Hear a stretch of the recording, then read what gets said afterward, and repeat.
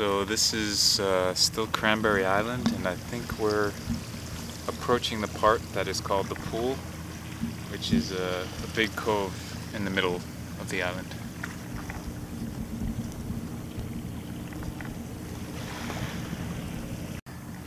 So just over there we have Little Cranberry Island.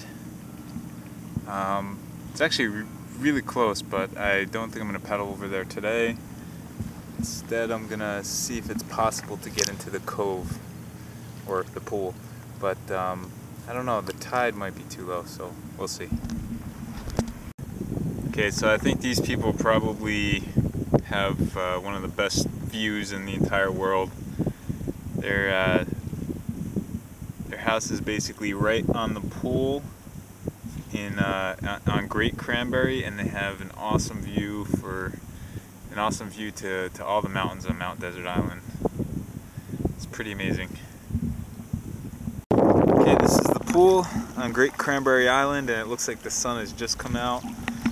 Um, it's pretty beautiful here. I think I just saw an eagle, but unfortunately I wasn't quick enough with the camera to, to get a picture of it.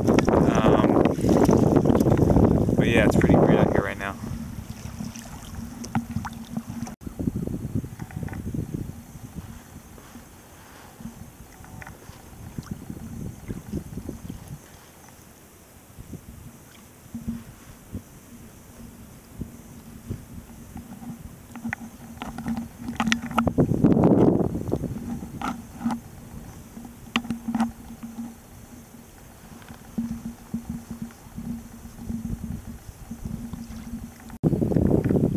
So I'm just leaving Great Cranberry now.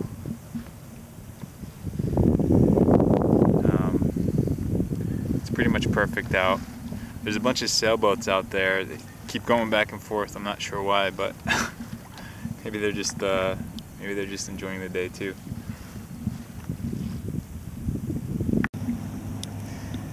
Okay, I think we're about halfway back to Southwest Harbor. Um, the water's gotten a little bit choppy, but it's actually kind of fun paddling through choppy water, so it's no big deal. Um, got a lobster trap right here. Maybe I should get some lobster for dinner.